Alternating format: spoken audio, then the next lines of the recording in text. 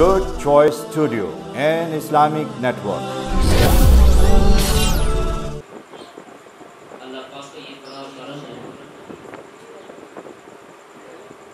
अल्लाह का ये बड़ा फजल है। शुक्र है। एक तो हम दीन की महफिल में बैठे और फिर ये बड़ी खुशकिस्मती है कि नौजवानी का आलम आए शबाब आए ना बंदे में। और फिर अल्लाह इज़्ज़त भी दे। जवानी की तरफ़ बंदे का कदम भी हो और फिर अल्लाह इज़्ज़त भी दे दे इख्तियार भी दे दे। तो नौजवान फिर भी महफिल सजाए ये बड़े कारनामे वाली बात तो मैं बहुत ज़्यादा मुबारकबाद दूँगा हमारे जुहेब भाई को हमारे अजीजान के कान जिन्होंने इस पाक महफिल का इनकार किया कि सिर्फ़ इन्होंने महफिल का एहतमाम नहीं किया, बल्कि महफिल में बाहाजर मौजूद है। अल्लाह ताला इन सबको बरकतें अता फरमाए। सबको इसी तरह अल्लाह ताला इसी तरह इन बच्चों को आपस में मोहब्बत के साथ मिलजुल कर दीन की खिदमत करने की और करते रहने की तौफीक अता फरमाए। यकीनन ये बच्चे सरमाया है। और ये नौजवान इस मिल्लत का सरमाया है। तो इन बच्चे छोटे छोटे बच्चों से तो मैं मुखातिब नहीं आज ये बड़े ये करीब आ जाए ताकि मुझे बात समझानी ज़रा आसान हो जाए। बच्चे अगर ये सामने आ जाए और आप देख, छोड़ दें रात का टाइम तो आ रहा है। करीब करीब है नींद भी बड़ी करीब करीब होती है। एक छोड़ दे करीब करीब हो जाए। ये क्लास भी पीछे करते जाए जगह बना दे लंबी मेरी हाजिरी नहीं है। अपने घर वाली बात है। बच्चों ने फरमाइश की है। दावत दी थी। हाजिरी है। सिर्फ़ अल्लाह के इजरा के लिए। शाह साहब का पूरा हासिल है। इससे बढ़कर कोई और इनाम नहीं है अल्लाह ताला इनका हमारे दराज फरमाए। सादात है और सादात हमारी होंगी अभी मैंने एक मुबारक फरमाई, पारा तेरह सूर इब्राहिम आयत नंबर पैंतालीस तवज्जो करनी है आपने। मैंने ये नहीं कहना कि आप सुबह अल्लाह के और मुझे जागने का सबूत दे समझ रही मैंने ये नहीं कहना आपने ही अपने जागने का सबूत देना है कि हाँ ये जाग सूरह इब्राहिम में हज़रत इब्राहिम खलीलुल्लाह अला नबीना वसल्लम, आपने ये दुआ फरमाई। ये वो दुआ है कि जो आप रोज़ाना अपनी नमाजों में मांगते हैं। मैं ये नहीं कहूँगा कि कोई जाग रहा है कि नहीं जाग रहा, आपको शायद समझ आई हो तो मैंने कौन सी दुआ कही है कौन सी तिलावत किया है। ये वो मशहूर आया कि जो मेरे बच्चे, आपने बचपन में याद कर ली थी और हर मुसलमान के सीने में ये आयत मुबारक मौजूद है, रब्बी जअलनी मुकीमस्सलाती व मिन ज़ुर्रिय्यती रब्बना व तक़ब्बल दुआ ऐसे ही गलती तो नहीं कर रहा। रात का बंदा के आपके ज़हन में आ जाए सब नींद आ गई तो बस पढ़ दो दिया ठीक है? अल्लाह ताला आप सबको खुश रखे मुस्कुराते हज़रत इब्राहिम अलैहि सल्लम आपने ये दुआ फरमाई। अल्लाह के खलील ये तवज्जो रखिए। अल्लाह के कौन है? खलील है और खलील कहते हैं गहरे दोस्त। और ये वो प्यारे और बड़े मीठे नबी हैं, जिन्होंने खाना काबा की तामीर इसमें भी अपना हिस्सा डाला। आपके बड़े अजीम और निडर बेटे, हज़रत सैयदना इस्माइल सल्लम आप ही का सदका और खैर है कि आज तक आप सब ज़िंदा हैं। शुजाअत और बहादुरी का ये आज तक नमूना, आज आप ज़िंदा सारे। वरना वो अपनी जान को अगर अल्लाह के लिए पेश ना करते, और वहाँ मैडा ना आता तो आज ये नौजवान भी ज़िंदा ना होते। कि हर माँ को अपना बेटा कुर्बान करना पड़ता, हर बाप को अपना बेटा जबा करना पड़ता। आपने जब ये दुआ फरमाई ना, रब्बी जअलनी मुकीमस सलाती व मिन ज़ुर्रिय्यती रब्बना दुआ अब इस दुआ और इस आयत मुबारका में लफ्ज़ का औलाद को। औलाद को का इस्तेमाल किया गया मुकामल किया गया औलाद के लिए। कि जो आपकी औलाद है, उसे जुर्रियत कहा गया। और आपने दुआ करनी कि अल्लाह, मुझे और मेरी औलाद को नमाज़ पे कायम रख। रब्बी जअलनी मुकीम व मिन ज़ुर्रियती ए अल्लाह मुझे मेरी औलाद को नमाज़ पे कायम रख रब्बना व तक़ब्बल दुआ और मेरे मालिक ए हमारे रब हमारी दुआ को कबूल फरमा ले तू ही कबूल करने वाला समझ आ गई है किस किस को समझ नहीं है अब उठना नहीं है आप बैठे ना जम के बैठ जाए फिर आपने कहना कि मौलवी साहब बयान करके चलेंगे तो मज़ा नहीं आता। वसल्लम आपने फरमाया अबू दाऊद शरीफ की हदीस मुबारक और बहुत मशहूर हदीस मुबारक हुसैन हुसैन। ये हदीस मुबारक ख्याल आप लोगों ने सुनी होगी और बड़ी मशहूर है। आज आपको ये बात समझा के ये बात खत्म कर देनी है कि अल्लाह के प्यारे नबी सल्लल्लाहु अलैहि वसल्लम, आपने फरमाया, अल हुसैन मिन्नी व अना मिनल हुसैन।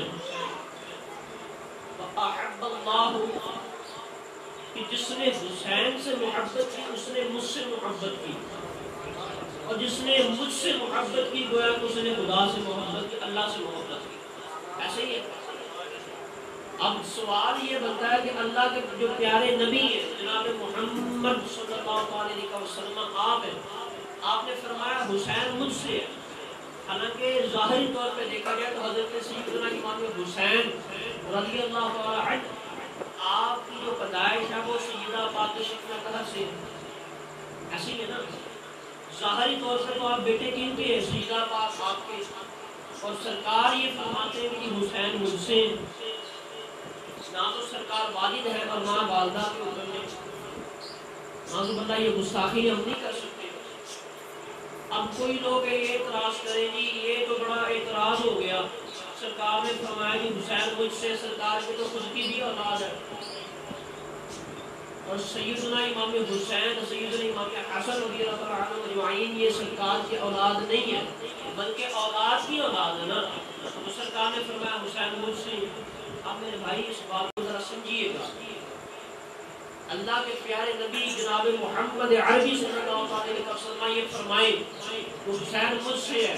और ये बंदे का इतराज आ जाए, कि मतलब इतराज करे ना, हुसैन मुझसे है। यहाँ तो बंदे की अकल को बड़ा शैतान बरगला दे।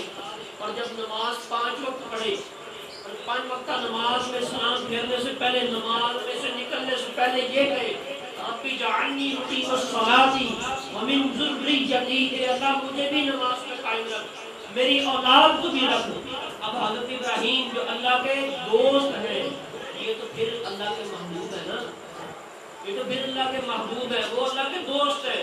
अब अल्लाह का दोस्त, वो ये फरमाए अल्लाह मुझे नमाज़ पे कायम रख और मेरी औलाद को। अब औलाद में कौन कौन है? हज़रत इस्माइल अलैहिस्सलाम, हज़रत इसहाक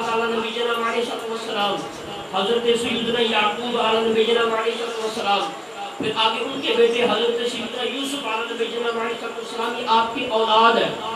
और एक मुफसर ने और कई रवायतों में भी ये बात आई कि हज़रत सैदना हाजिरा रज़ी अल्लाह ये हज़रत इब्राहीम अलैहिस्सलाम के जोजा मुहतरम है ऐसे ही है। और दूसरी जोजा का नाम क्या है? हज़रत सैदना सारा रज़ी अल्लाह इनको उम्मुल अंबिया कहा गया। अंबिया की माँ कि आपके में अतहर के बाद इतने इतने इतने अंबिया आए कि किसी लिखने वाले ने लिखा कि आपके इश्क में अतहर से जो औलाद पैदा हुई है, औलाद की औलाद औलाद की औलाद औलाद की औलाद, सात हज़ार से ज़्यादा अंबिया की पैदाइश हुई। सात हज़ार से ज़्यादा। और वहाँ, हज़रत इब्राहिम एक बार गए रब्बी जानी मुकीम अपनी ज़ुर्रियत के लिए दुआ करें। और ज़ुर्रियत में कौन आए? इतने सारे अंबिया। औलाद की औलाद ज़ुर्रियत में और यहाँ तो फिर इमामुल अंबिया है। ताजदार अंबिया है। शहनशाह अंबिया है। खातमुल अंबिया है।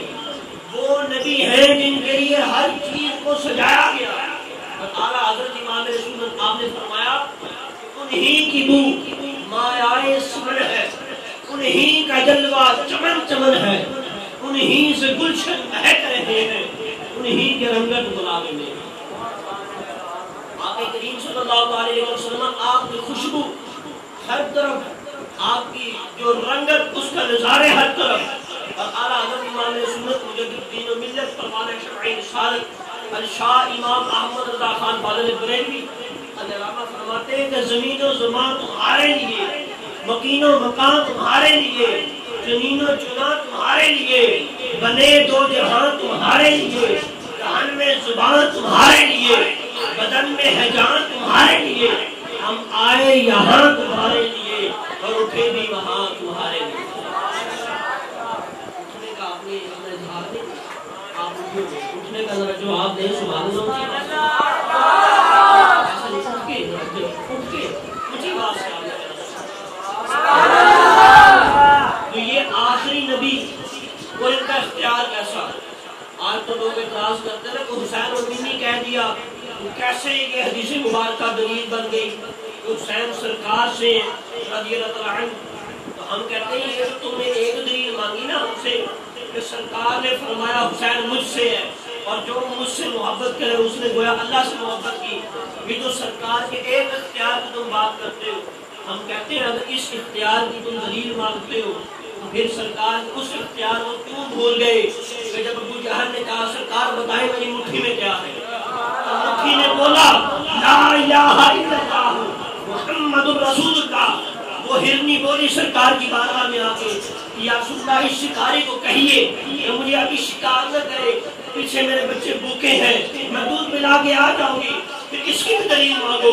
फिर अगर तुमने हुसैन मिनी की दलील मांगनी है, फिर इस हदीस की भी दलील मांगो कि सरकार हज़रत अली करीम आपकी गोद में लेटे हैं और असर का वक्त चला गया है। सरकार की आँखें मुबारक खुली और हज़रत अली आपके चेहरे मुबारक पर थोड़ी सी अफसुर्दी देखी। सरकार ने पूछा, अली, तुम किस बात से अफसुर्दा हो? आपने फरमाया सुना मेरी नमाज़ असर अदा हो गई सरकार इशारा फरमाए उन्हें सलमा रज़ी आप इस हदीस मुबारक में गिरा दी। आप कहती मैंने खुद देखा। और दीगर सहाबा से ये रवायत साबित है। आप फरमाते हमने खुद देखा कि जो सूरज की रोशनियाँ थी, वो दीवारों से खत्म हो गई समझ आ रही है बिल्कुल आप फरमाती कि हमने खुद देखा। कि सूरज की जो चमक थी सनराइज सूरज की जो चमक थी, हमने दीवारों से उठती देखी, मगर एक वक्त अचानक ऐसा आया कि दोबारा सूरज दीवारों में चमकदार हो गया। सरकार इशारा फरमाए और आफ्ताब लौट आए। सरकार इशारा फरमाए तो चाँद तो टुकड़े हो जाए। सरकार सल्लल्लाहु अलैहि वसल्लम नमाज़ पढ़ रहे हो। नमाज़ की हालत में हो और सरकार की बिला का रुख बदल दे। ये मेरे मुस्तफ़ा के इख्तियार है। पूरा काफिला प्यासा हो और सरकार की बारगाह में यासुल्ला पानी नहीं है। जानवर प्यासे हैं। हमें प्यास लगी है, बच्चे प्यासे हैं। सरकार प्याले में हाथ डाले और पाँच चश्मे जारी कर दे। नारा तकबीर नारा रिसालत नारा तहकीक नारा हैदरी नारा गौसिया अजमत शान मुस्तफ़ा ज़िक्र अहले बैत मैं भैया अगर इख्तियार मुस्तफ़ा की बात करी जाए सरकार के इख्तियार की बात की जाए तो ये इख्तियार मुस्तफ़ा तो बड़े कबीर बात है और तुम कहते हो कि हुसैन मिनी तो आना मिन हुसैन हम कहते हैं जब इस बात पे तुम्हें कोई शक है तो बाकी बातों में भी शक करो ना वहाँ में तुमसे शक नहीं होगा, क्योंकि वहाँ रावी ज़्यादा है। तो मैंने कहा, अगर रावी ज़्यादा है तो यहाँ पे भी रावी की अगर बात करनी जाए, अबू दाऊद शरीफ की हदीस मुबारक और तिरमिजी की हदीस मुबारक निसाई की हदीस मुबारक इब्ने हब्बान की हदीस मुबारक इमाम मुसद्दक इमाम हाकिम में, इमाम हाकिम इस रावी को नकल करे कि हुसैन मिन्नी व अना मिन हुसैन व अहब अल्लाह अल्लाह के नबी ने फरमाया, हुसैन मुझसे है और मैं हुसैन से और जो मुझसे मोहब्बत करे, उसने अल्लाह से मोहब्बत की। मेरे भाई, इसमें किसी किस्म का शक बाकी नहीं रहेगा। अच्छा ये एक बात खत्म कर दूँ। बड़ी ज़्यादा उनकी अजमतें बड़ी आला, उनकी शानें बड़ी आला पता किसकी बात हो रही है।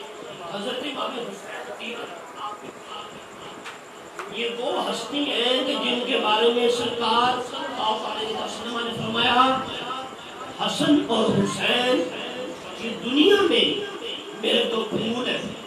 सरकार इनको सुंदा करते थे। आके करीम सल्लल्लाहु अलैहि वसल्लम इनसे खुशबू लिया करते थे।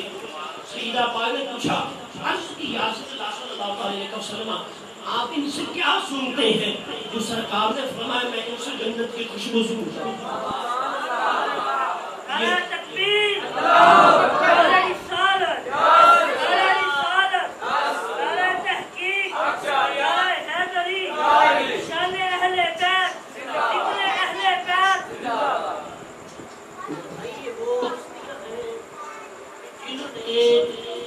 दीन के लिए अपनी अजमतों को नहीं देखा अपनी शानों को नहीं देखा ये वो हस्तियाँ हैं कि जो थक जाए जो सिर्फ़ थक जाए चलते चलते थक जाए और हज़रत अबू हुरैरा जैसे रावी इन्होंने सरकार से सबसे ज़्यादा हदीसें नकल की हो सबसे ज़्यादा इमाम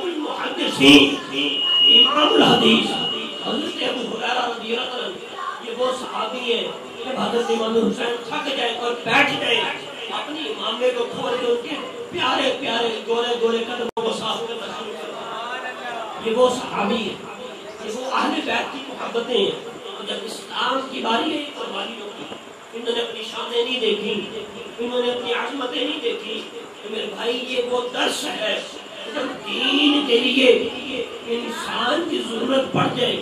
मेरी जात की या तेरी जात की ज़रूरत पड़ जाए तो ये नहीं देखा जाएगा कि कितनी प्राणियों ने फिरता रहा, कितने लोग मेरे हाथ चुनते रहे, कितनी नमाजें पढ़ी या नहीं पढ़ी, कितनी दरसगाहों में मैं गया या नहीं गया। फिर ये देखा जाएगा तो दीन के लिए मैं भी हाजिर, मेरी औलाद भी हाजिर, मेरा माल भी हाजिर, मेरे माँ बाप भी हाजिर, मेरा वक्त भी हाजिर। मेरा दीन प्यार है ये है दीन वालों की कुर्बानियाँ। दीन वालों की दीन से मुहब्बत आज के इन दीनदारों